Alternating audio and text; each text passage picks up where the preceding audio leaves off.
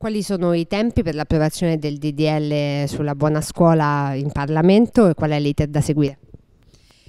Il disegno di legge sulla buona scuola è stato incardinato alla Camera ed inizieranno le audizioni, quindi eh, la prima settimana dopo Pasqua termineremo la fase di ascolto e poi si passerà al deposito degli emendamenti e alla loro votazione.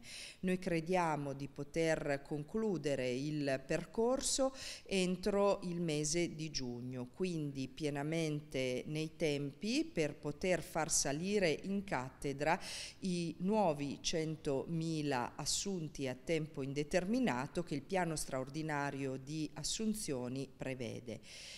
Crediamo che il Presidente del Consiglio, facendo di questo provvedimento, che è la riforma più importante del governo Renzi, eh, e dandola come disegno di legge, non come eh, decreto eh, secondo i criteri di necessità ed urgenza, abbia lanciato una sfida positiva al Parlamento.